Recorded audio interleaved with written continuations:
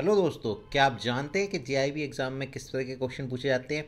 तो ये आपके सामने क्वेश्चन दिख रहा है, यही क्वेश्चन आपसे एग्ज़ाम में पूछा गया है। Why demand curve slopes downward तो क्या आप इसका आंसर जानते हैं? तो स्वागत है आप सभी का मोटिवेशनल बैंकर में। आज हम इसी क्वेश्चन को शॉर्ट में शॉर्ट ट्रिक्स में समझते हैं शॉर्ट तरीके से समझने की कोशिश करते हैं और एग्ज़ाम में किस तरीके से इसके क्वेश्चन पूछे जाते हैं, हम समझते हैं। तो देखो हम जानते हैं कि जब जब प्राइस बढ़ती है, जैसे जैसे यहाँ पे दिख रहा है प्राइस बढ़ती जा रही है, एक रुपये, दो रुपये, तीन रुपये, चार रुपये, पाँच रुपये, वैसे वैसे उसकी जो डिमांड है, वो क्या होती जाती है? कम होती जाती है।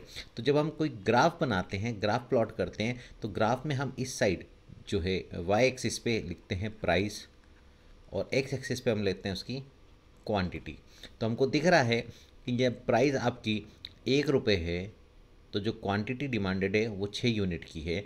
जब प्राइस दो रुपये है तो क्वांटिटी डिमांडेड पाँच की है, जब प्राइस तीन रुपये तो क्वांटिटी डिमांडेड चार की है। तो जैसे जैसे प्राइस बढ़ रही है वैसे वैसे क्वांटिटी की जो डिमांड है, वो क्या होती जा रही है? कम होती जा रही है। और इसी को जब हम सारे पॉइंट को, जी, सारे जो एक्सिस बन रहे हैं, सारे पॉइंट्स जो बन रहे हैं, इन सारे पॉइंट को जब हम कनेक्ट करते हैं तो हमारी कर्व ऊपर से नीचे की तरफ़ हमको आती हुई दिखती है, जिसको हम डिमांड कर्व बोलते हैं। तो डिमांड कर्व जो है, वो डाउनवर्ड स्लोपिंग कर्व होती है, क्योंकि जैसे जैसे प्राइस बढ़ती है, वैसे वैसे क्वांटिटी की डिमांड कम होती है, और जैसे जैसे प्राइस कम होगी, वैसे वैसे क्वांटिटी की डिमांड बढ़ने लग जाएगी। लेकिन ऐसा होता क्यों इसका रीज़न क्या है? हमसे ये पूछा गया है। तो रीज़न की जब हम बात करें तो पहला रीज़न होता है law of diminishing marginal utility law of diminishing marginal utility का नियम ये बताता है कि जब हम किसी प्रोडक्ट की एक यूनिट खरीद लेते हैं तो दूसरी यूनिट से से मिलने वाला जो सेटिस्फेक्शन है, वो हमको पहली यूनिट की अपेक्षा कम मिलता है। तो मान लो जैसे किसी यूटिलिटी को हम मेज़र करें कि आपने कोई एक खाने के प्रोडक्ट आपने एक चीज़ खरीद ली अब जब उसको खाने के बाद जब दूसरी खाएँगे तो आपको ऑलरेडी आप सेटिस्फाइड हैं, लेकिन दूसरे से मिलने वाला सेटिस्फेक्शन कम होगा। तो जब दूसरे का मिलने वाला सेटिस्फेक्शन कम है तो हम उसके लिए प्राइस भी क्या देना चाहेंगे? कम देना चाहेंगे। इसी को बोलते हैं law of diminishing marginal utility का नियम। दूसरा रीज़न होता है सब्सटीट्यूशन इफ़ेक्ट जब कोई प्रोडक्ट महँगा होता है तो उसके कंपैरिजन में उसका सब्सटीट्यूशन सस्ता दिखता है। इसलिए प्रोडक्ट महँगा होने पर हम उसको खरीदने की बजाय उसके सब्सटीट्यूशन को खरीद लेते हैं। तो प्राइस किसी प्रोडक्ट की बढ़ती है तो उसके कारण उसकी डिमांड कम हो जाती है, लोग सब्सटीट्यूशन गुड सब्सटीट्यूट गुड्स खरीदने लग जाते हैं। तीसरा पॉइंट आता है इनकम इफ़ेक्ट जब कभी भी किसी प्रोडक्ट की प्राइस बढ़ती है तो हमारी रियल इनकम जो है, वो कम हो जाती है।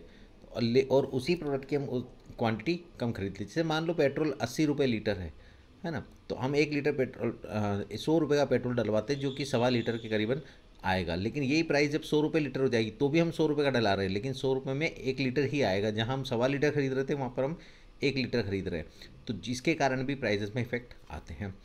चौथा पॉइंट आता है, जब कभी भी कोई प्रोडक्ट सस्ता होता है तो नए बायर्स मार्केट में आ जाते हैं और वो उस प्रोडक्ट को ज़्यादा जिन जो उसको अफोर्ड नहीं कर सकते थे, वो लोग भी अफोर्ड करते हैं। इस कारण से जो है प्राइस बढ़ने पे डिमांड कम होती है और प्राइस कम होने पे डिमांड बढ़ जाती है।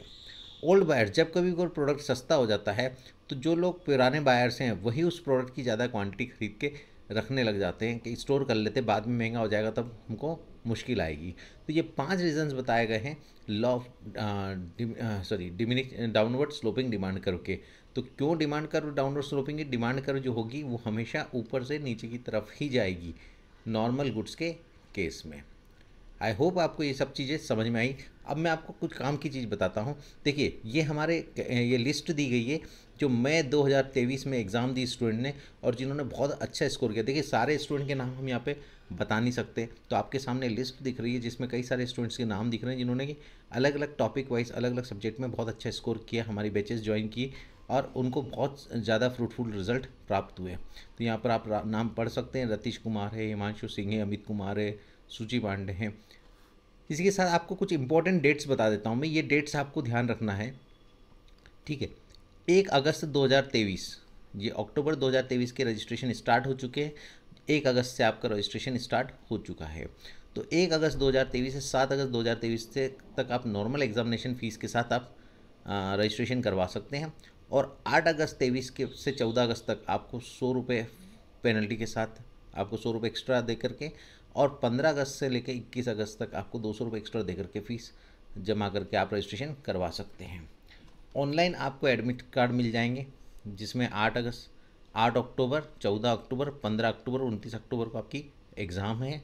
और आठ को जो है पहला Indian economy Indian financial system दूसरा चौदह अक्टूबर को प्रिंसिपल का है principle and practice of banking पंद्रह अक्टूबर को accounting and financial management of banking और उनतीस अक्टूबर को retail banking and wealth management की एग्ज़ाम रहेगी।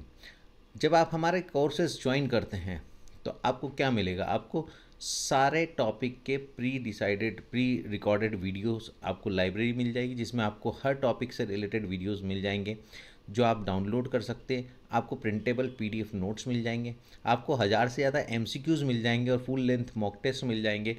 और मई तेईस में जो लास्ट अटेम्प्ट में जो भी एग्ज़ाम्स हुई हैं, उनमें जो जो भी क्वेश्चंस पूछे गए हैं, वो आपको अवेलेबल कराए जाएँगे।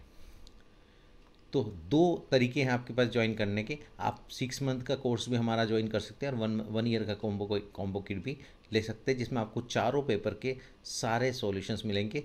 आपके पास अभी अगर आप अवेल करते हैं तो आपको एक अर्ली बर्ड डिस्काउंट मिल जाएगा, जिसमें थर्टी परसेंट डिस्काउंट मिलेगा अगर आप इस कूपन कोड को यूज़ करते हैं। तो देखते हैं और मिलते हैं हम लोग। और साथ ही आपके लिए एक ही सॉल्यूशन है जे आई बी सी आई बी के हमारे साथ बने रहें motivational dot com banker dot com पर रजिस्टर्ड करें। और कोई भी क्वेरीज हो तो वहाँ पर आप पूछ सकते हैं। So thank you so much